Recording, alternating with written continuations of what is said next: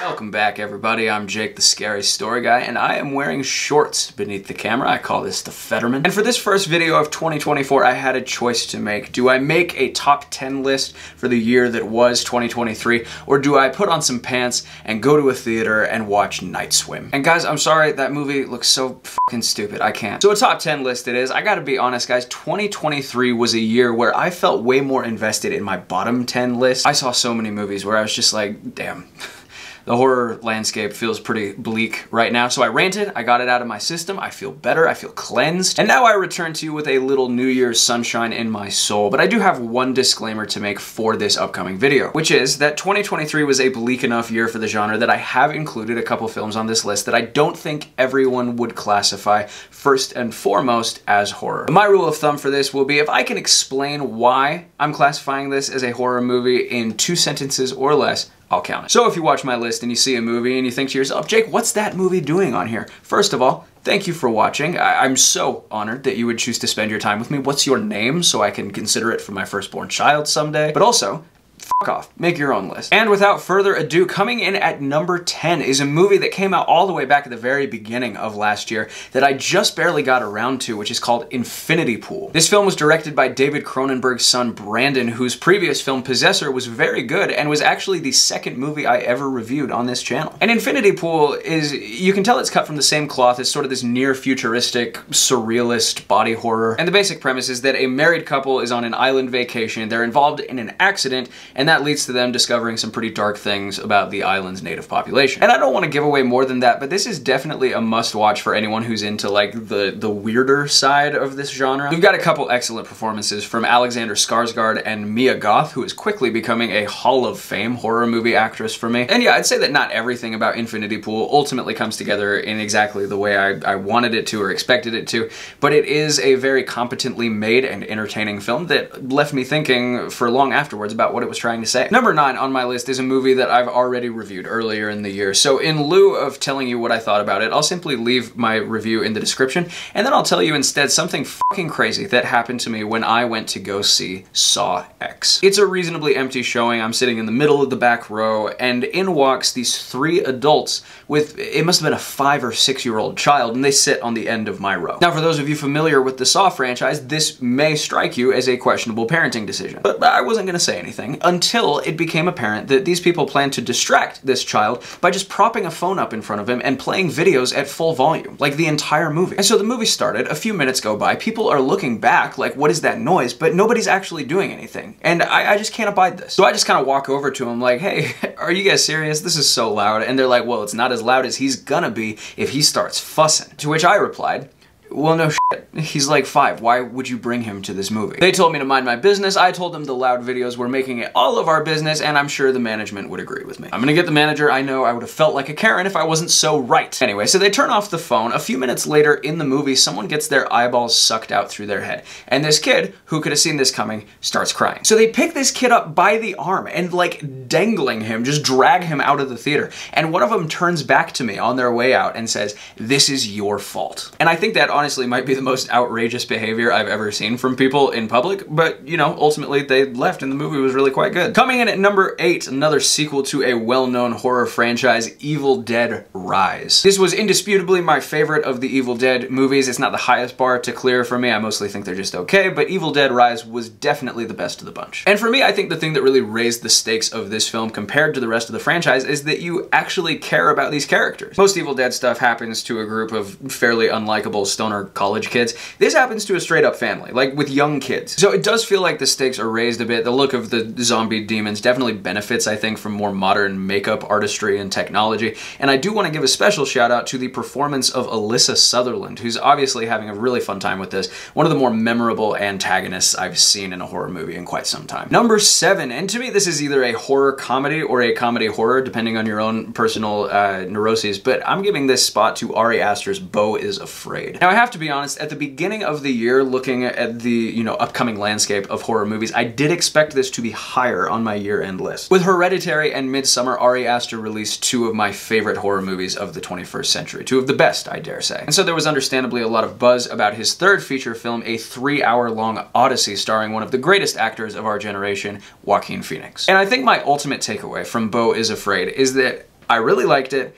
I never want to see it again. Again, I did a 10 minute review of this. I'll link it below because this is a movie that just really defies easy description. It's equal parts hilarious and bizarre. And I'm not making this up. I think it might have been the most singular movie-going experience of my life. I've just never seen a theater react like this to something. Everyone was just bowled over to the point where the movie ends and the credits are rolling. And keep in mind, this was three hours long and everyone's still just kind of sitting there. Like, what the hell? Do we just go? It may not hold up as well as an at-home viewing experience where you're free to like pause it or scroll through your phone or whatever, just because a theater demands more immersion from you that this movie might benefit from, but it's really good and you should watch it. Number six, a movie that I never reviewed on this channel, and I view that as my personal greatest failure of 2023, the Amazon original horror movie, Totally Killer. This is a movie about a teenage girl who lives in a town where there were these legendary Halloween murders that took place a few decades prior. But when someone close to her is murdered by a copycat on Halloween, she ends up going back in time to try to stop the original murders before they start. And this is definitely a comedy horror movie. It's got a really similar tone to the original Scream, actually. And man, I just had an enormously good time with this. It feels like the kind of premise that might be stale, right? You know, oh, uh, time travel, 80s nostalgia and, and high school slashers. How original. And I don't know how else to say it. I thought they nailed this. The humor especially was just so on point. The main girl is very uh, woke, as they say. And so when she gets catapulted back to the 80s, she sees how politically incorrect everything is. Her reactions to it are just, I, I don't know. The movie's really good and is my biggest surprise of the year. Coming in at number five, I thought it would be good. I hoped it would be good. It was really good. I'm talking about Kenneth Branagh's A Haunting in Venice. Branagh has sort of made a personal project of directing and starring in these old Agatha Christie, Hercule Poirot adaptations. And I've got to be honest, I like the idea of these movies more than I have historically liked the actual movies. Like I'll hear there's a new one coming out and I'll get pumped, but then I see it and I'm never like, oh wow, I loved that. But while they all center around grisly murders, A Haunting in Venice is the first one to really incorporate themes and imagery for a horror movie, and I thought it was easily the best of the bunch. It's the most crisp and meticulously crafted murder mystery I've seen in quite some time. It does a great job of glorifying the beauty of the city of Venice, which by the way, I'm going to in a few months, never been, so this movie got me excited for that. But yeah, this is just one of the more like rock solid films of the year. I just don't really have anything bad to say about it. Number four, the best horror sequel of the year hands down, Scream 6. And I can't believe I'm saying this because I really quite like the first Scream film, but I think this is probably the best film in the franchise. And the reason for that, I think, is that this is the first movie in the franchise that feels less like a comedy horror movie and more like it's just a straight up slasher movie. This is kind of a weird comparison, but I grew up on Harry Potter, so, so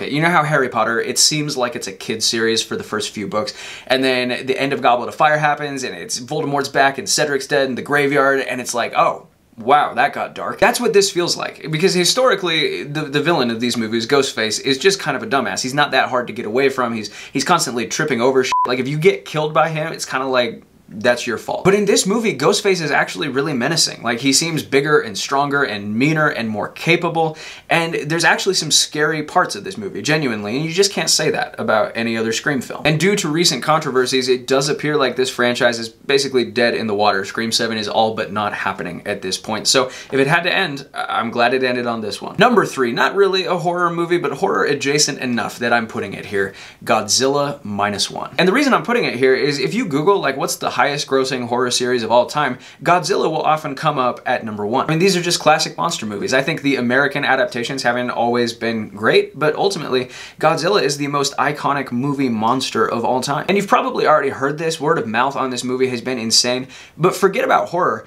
Godzilla Minus One is one of the best movies of the year, full stop. This takes place in Japan, immediate aftermath of World War II, and there's, for a monster movie, there's just a shocking amount of like thoughtfulness and tenderness about what that post-war period was like for the Japanese people. This works so well as both a monster movie and a historical drama, and I mean, it's not scary, but it's definitely deserving of my number three spot on this list. Number two, in my view, this is unquestionably the best pure horror movie of the year, Talk to Me. This was directed by a couple of brothers from Australia. It's their first feature-length film ever, and uh, Damn, this was everything I want from a horror movie. It was fresh and well made and genuinely scary in a lot of parts, which is just not something I could say about a lot of movies I saw this year. Talk to Me is about a group of teenagers who figure out a way to become kind of demonically possessed. And the answer to the obvious question, well, why would they want to do that, is that in this movie, getting possessed feels basically as pleasurable as being on drugs. So the kids basically turn getting possessed into this party game. They're like filming it on their phones and everything. And I,